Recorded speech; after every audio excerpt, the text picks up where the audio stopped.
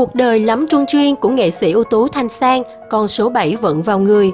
Cuộc đời nghệ sĩ ưu tú Thanh Sang rất có duyên với con số 7, mỗi cột mốc lại là một chuyển mình trong cuộc đời nghệ sĩ lắm gian truân.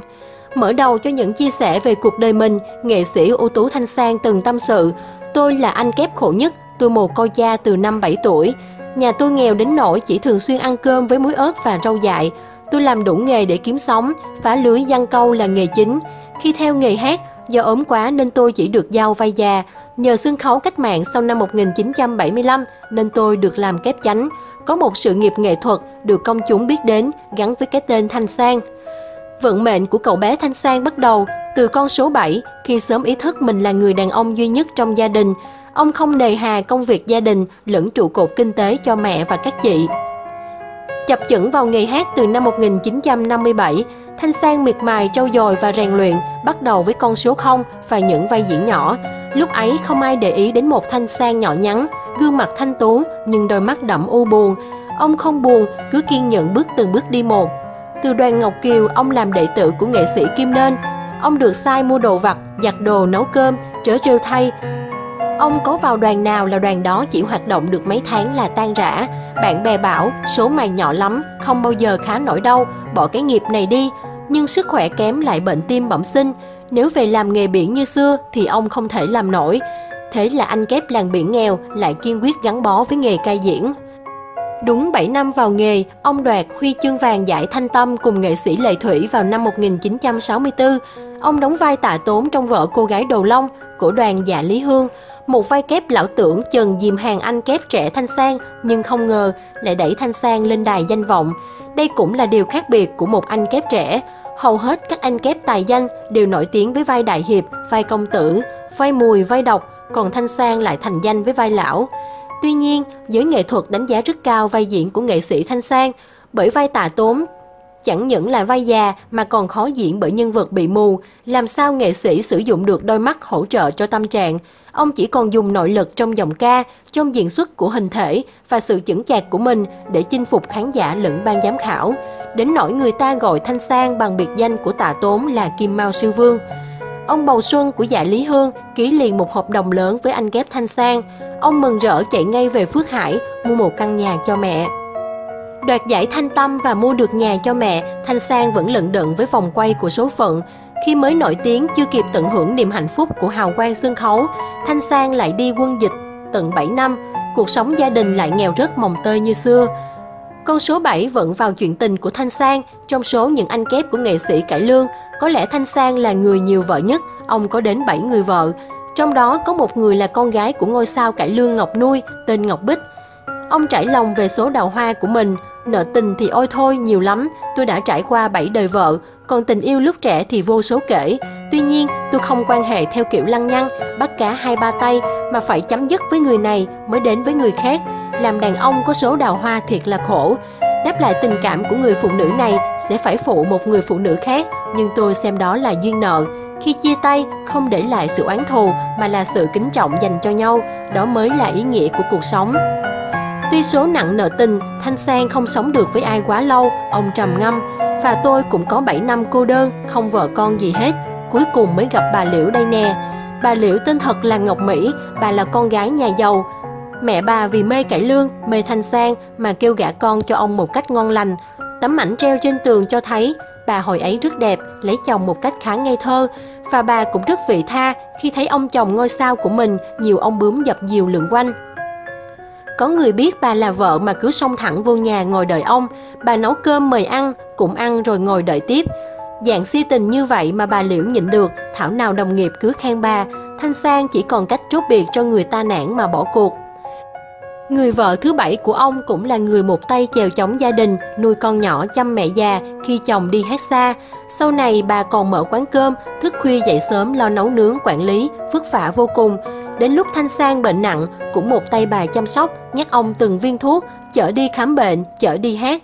Cạnh ông trong bệnh viện, đọc kịch bản cho ông, viết lại bản nháp hồi ký mà ông thảy ra. Vừa là vợ, là tài xế, là y tá, là nhắc tuồng, là thư ký, kim luôn bảo mẫu. Biệt thự vừa xây rất to, bên bờ sông Sài Gòn cũng có công sức của bà rất nhiều. Có lẽ duyên phận của ông kết thúc ở con số 7 này, ở người vợ thứ bảy này cũng là xứng đáng lặng lẽ sống, lặng lẽ làm nghề, lặng lẽ chống chọi với bệnh tật và lặng lẽ ra đi. Thanh Sang để lại cho sân khấu một khoảng trống khó lấp đầy. Những ngày cuối cuộc đời, nhìn lại sự nghiệp ca hát của mình, người nghệ sĩ già chặt lưỡi tiếc. Tôi chỉ tiếc một điều là mình không mở được trường dạy nghề để truyền đạt kinh nghiệm ca diễn cho thế hệ trẻ theo phương pháp truyền nghề đúng nghĩa của sân khấu cải lương.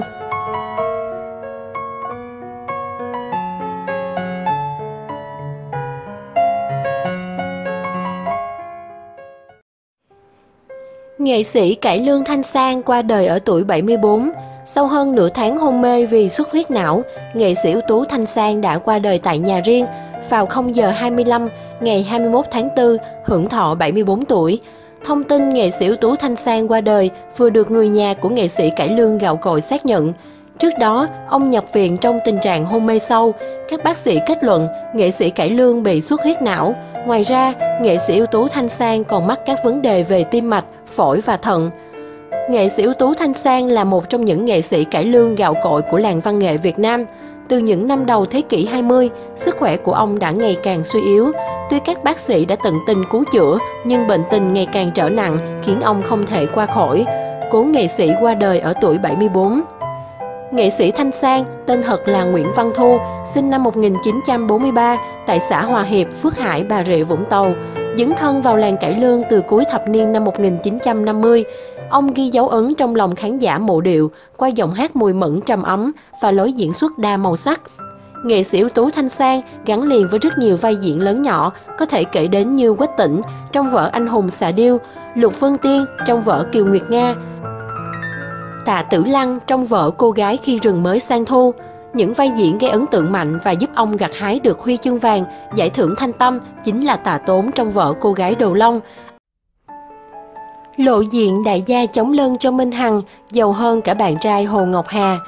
Rộ tin đây là nguyên nhân khiến Hồ Ngọc Hà bực bội và không muốn làm việc chung với Minh Hằng ở The Face 2017, tranh chấp về hợp đồng quảng cáo dẫn đến scandal The Face. Hồ Ngọc Hà chèn ép Minh Hằng mất ghế huấn luyện viên The Face 2017. Do trước đây cả hai tranh chấp hợp đồng quảng cáo, cụ thể hơn, một fanpage bí mật showbiz cho biết Hà Hồ có làm việc với Gucci, thương hiệu thời trang nổi tiếng thế giới, nhưng sau đó Gucci lại muốn có thêm cả Minh Hằng. Minh Hằng có đại gia nghe nói rất khủng chống lưng nên thắng được rất nhiều hợp đồng quảng cáo. Biết chuyện thì Hồ Ngọc Hà sôi máu lên và đồn Minh Hằng dùng mối quan hệ xin xỏ này kia để được làm việc với Gucci. Còn nói là cứ thấy chị Hà làm gì là bắt trước đó. Thế nên bên Gucci mới gặp Hà Hồ để xác nhận là họ muốn làm việc với Minh Hằng chứ không phải vì nể nang mối quan hệ hay ai xin xỏ. Bên cạnh đó, rộ tin Hà Hồ thất bại trong việc giành hợp đồng quảng cáo dầu gọi với Minh Hằng nên cay cú.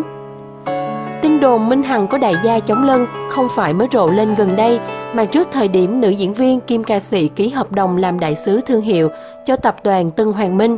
Sáng ngày 25 tháng 9 2016, tại Hà Nội đã diễn ra lễ ký kết đại sứ thương hiệu giữa tập đoàn Tân Hoàng Minh và Minh Hằng.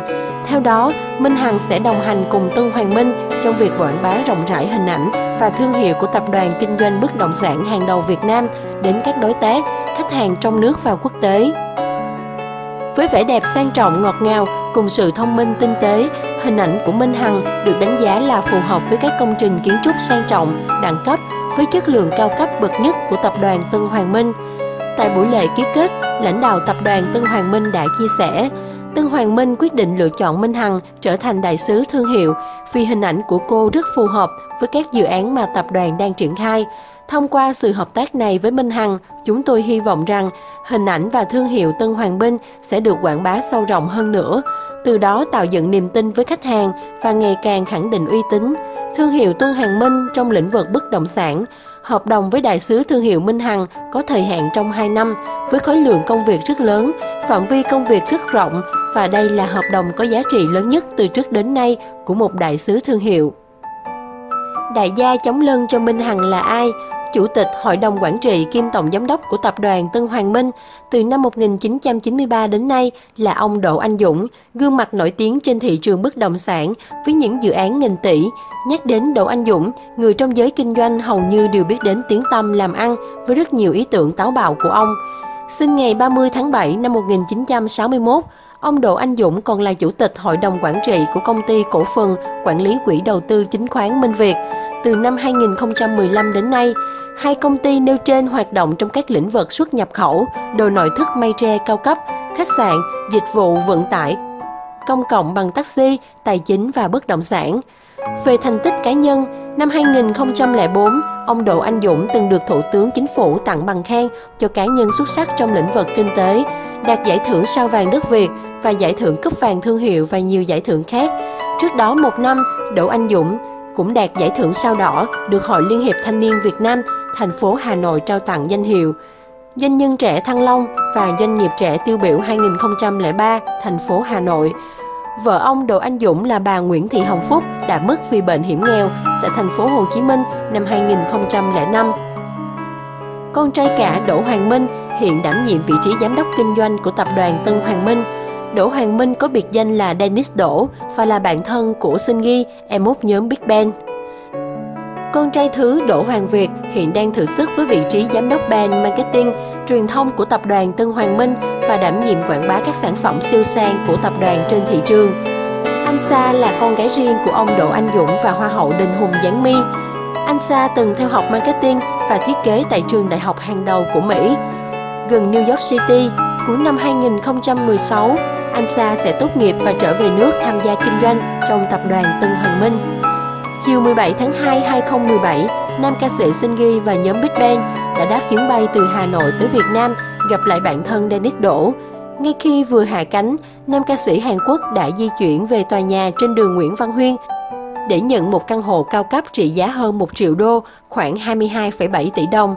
Tại đây, Minh Hằng gây ấn tượng mạnh với nụ cười rạng rỡ, gương mặt xinh đẹp, cùng bộ váy lộng lẫy và đại diện tập đoàn Tân Hoàng Minh trao nhà cho Sinh Ghi. Bé Heo là nghệ sĩ Việt hiếm hoi được giao lưu với cậu em út nhóm Bính Ben trong lần thứ hai trở lại Hà Nội. Qua những dữ kiện trên, một vài người dự đoán nếu có đại gia chống lưng cho Minh Hằng như tin đồn thì có lẽ đó là ông Đỗ Anh Dũng. Bạn trai Hồ Ngọc Hà, đại gia Kim Cương Chu Đăng Khoa, tuy giàu song không thể bị kịp chủ tịch tập đoàn Tân Hoàng Minh. Minh Hằng, tôi có đại gia chống lưng thì mọi người nên chúc mừng. Vào tháng 6 2015, khi được phóng viên hỏi bí quyết nào để có được nhiều hợp đồng quảng cáo như vậy, Minh Hằng trả lời, mình có một đời sống trong sạch, cố gắng làm việc thật tốt và hình ảnh của mình đến với công chúng phải tươi, đúng với con người của mình. Cái gì đúng với con người của mình thì mình mới có thể phát huy nó một cách tối đa, còn không đúng với con người mình thì dù có làm tốt thì nó cũng không tốt được trong thời gian dài. Về biệt danh nữ hoàng quảng cáo, Minh Hằng tâm sự, Thực ra, mọi người gọi như vậy cũng chắc do ưu ái Minh Hằng thôi. Hằng không mang tiêu chí mình sẽ là nữ hoàng quảng cáo, mà mang tiêu chí là những nhãn hàng chọn lựa mình sẽ có nhiều hoạt động gắn liền với tên tuổi Minh Hằng, giúp nhãn hàng đó đi lên và tên tuổi của mình phải được sạch cho phù hợp. Khi Minh Hằng làm việc với nhiều nhãn hàng, họ không chỉ ký hợp đồng một năm với mình mà họ ký đến 5 năm. Vì vậy, Minh Hằng phải cố gắng làm hết khả năng để hoàn thành nhiệm vụ, nhận được sự tôn trọng của nhãn hàng để có thể đi cùng nhau trong một đoạn đường dài. Thời điểm đó, Minh Hằng đi xế hộp 6 tỷ, khoe có nhà mới khiến nhiều người nghi ngờ cô có đại gia chống lưng. Trước nghi vấn này, bé Heo chia sẻ, sao mọi người không nghĩ, không nhìn nhận những gì mà Hằng đã làm rất nhiều vừa qua.